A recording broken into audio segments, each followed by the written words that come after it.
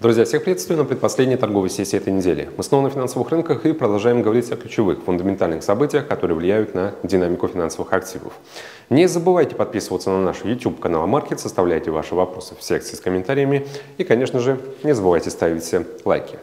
Сегодня на повестке экономического календаря долгожданный релиз по инфляции в США. В 12.30 по GMT будем анализировать данные по индексу потребительских цен. Месячный показатель, годовой, основной индекс потребительских цен и базовую инфляцию. Также в это же самое время выйдет отчет по первичным заявкам на пособие по безработице. И еще один релиз, который тоже предлагаю вам добавить в список Э, тех, за которыми мы будем следить, слушание по инфляции в Англии. Мы знаем то, что британская монетарная политика полностью зависит от, э, от того, что будет дальше с инфляцией непосредственно в Англии. И если будут сигналы от правительства о том, что инфляционные риски остаются повышенными, есть риск того, что инфляция а, будет э, э, удерживаться и находиться стабильно выше целевого ориентира, то тогда британский регулятор, как я уже много раз отмечал, будет замыкающим среди э, общего списка мировых центральных банков, которые уже смягчают экономическую политику и, соответственно, не станет торопиться с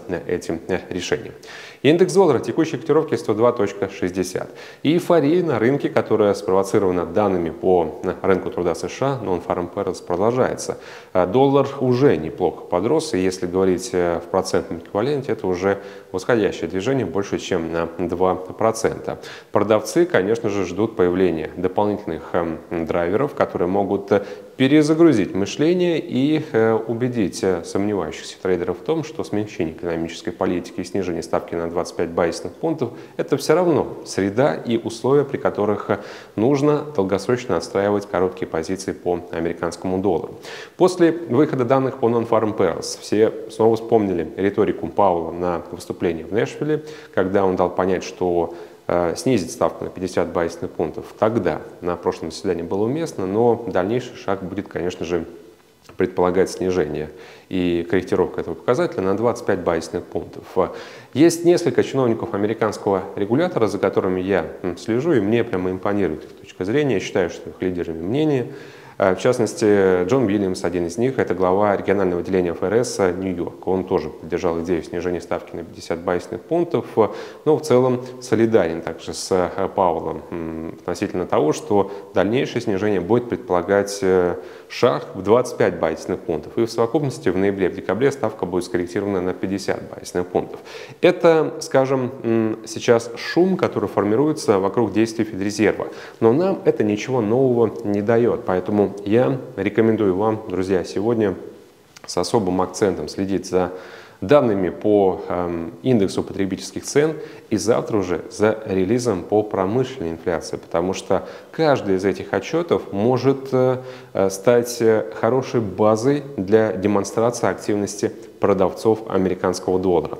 Я сторонник э, идеи того, что доллар э, уже в целом даже на текущих уровнях находится слишком высоко, слишком быстро его э, выкупили. Это даже уже не техническая коррекция, это какой-то непонятный энтузиазм, связанный неизвестно с чем. Такое ощущение, что американский регулятор вовсе отказался от того, чтобы смягчать экономическую политику. Поэтому порядок нужно восстанавливать. Если сегодня мы увидим более низкие значения по инфляции, а, скорее всего так оно и будет, по прогнозам ждать снижение показателей показатель с 2,5 до 2,3%, то, соответственно, э, снова придется заговорить об уместности смягчения экономической политики, может быть, даже агрессивными темпами в декабре, если будут сюрпризы по инфляции. Например, мы увидим значение фактическое по индексу потребительских цен с 2,5, снижение с 2,5 не до 2,3, а до 2,2.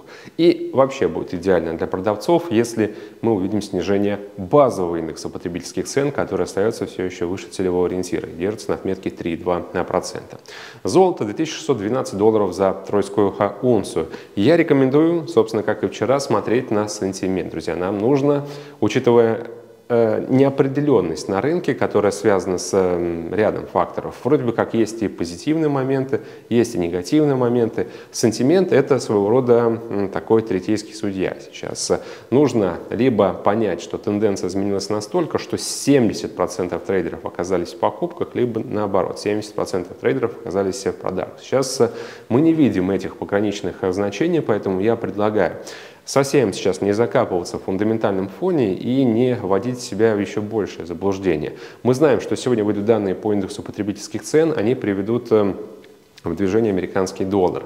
И я полагаю, что после выхода отчета по инфляции на рынке все-таки будет сформировано очевидное большинство, за которым мы будем наблюдать и э, против которого будем э, торговать. Поэтому э, с большой долей вероятности я думаю, то, что мы сегодня снова протестируем по золоту психологическую такую, ну хотя может быть не совсем психологическую, но поддержку 2600 долларов за тройскую унцию, но закрепимся ли мы ниже, зависит уже от того, какими цифрами нас удивит отчет по инфляции. Завтра, я думаю, что будет возможность комментировать уже и вот эти названные уровни по сантименту, и тогда э, уже подскажу вам конкретную сделку, если вы прислушиваетесь к моим рекомендациям. Американский фондовый рынок, друзья, S&P 500 5840. Да, это новые исторические максимумы.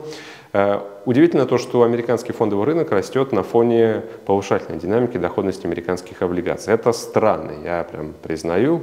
Э, редко наблюдал такое явление, но вот есть то, что есть. Видимо, рынок заряжен ожиданиями э, мощного сезона квартальных отчетов. Но я не против такой динамики, тем более, что на таких настроениях, друзья, мы еще быстрее доберемся до нашей цели в 6 тысяч пунктов. Когда-то до нее было настолько далеко, что в комментариях многие из вас писали, что это нереально.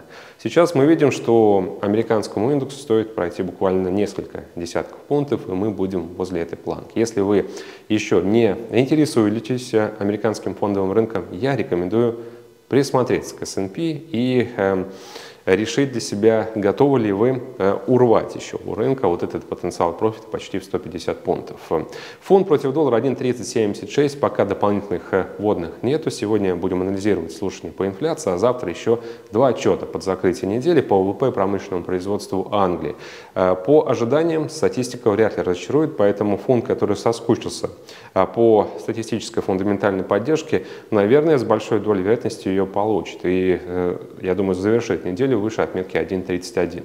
Доллар-франк 0.86, устойчивый восходящий бычий тренд, максимум уже середины августа. И думаю, вы знаете, с чем это связано. С одной стороны, Сейчас э, поддержку покупателям оказывает локальный рост американского доллара, но с другой стороны есть еще и долгосрочные ожидания по будущим действиям Национального банка Швейцарии, который не просто готов уже начать э, чаще проводить вербальные словесные интервенции, ну и, может быть, даже снизить процентную ставку до отрицательных значений, если ослабление франка в ближайшие э, месяцы не станет доминирующей тенденцией. Нужно тащить пару выше. City Bank of America прогнозирует ее в первом квартале, эту валютную пару, на отметке 0,90.